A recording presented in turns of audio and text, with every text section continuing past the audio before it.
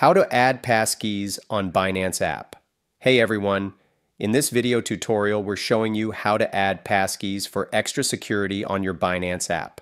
Passkeys are a new way to verify your identity that's more convenient and secure than traditional methods. To avoid making a mistake, make sure to watch the video precisely until the end. Do not skip, and of course do not forget to like this video and subscribe to this channel. So to add passkeys to your Binance app, first open the Binance app and log into your account. Tap your profile icon in the top right corner. Tap Security.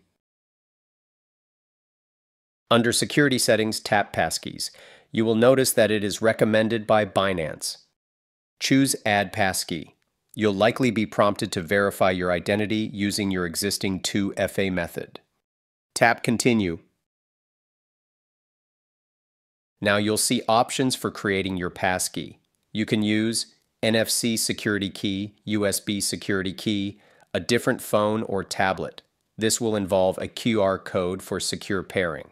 This device, your phone screen lock or PIN if you have an iPhone, you'll also find iCloud Keychain. Choose your preferred method and follow the on-screen instructions to complete the passkey setup. For me, I will choose this device. The screen will now go black because I will be adding my fingerprint as a passkey to my Binance account. This step will not be filmed for security reasons. Congratulations!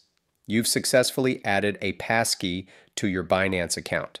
Now, whenever you log in or perform actions that require verification, you can use your chosen passkey method instead of a traditional password. I hope this short video tutorial helps you. Remember, using a strong passkey along with other security measures like a strong password for your Binance account login is crucial for keeping your crypto safe. Don't forget to like and subscribe for more crypto security tips and tutorials.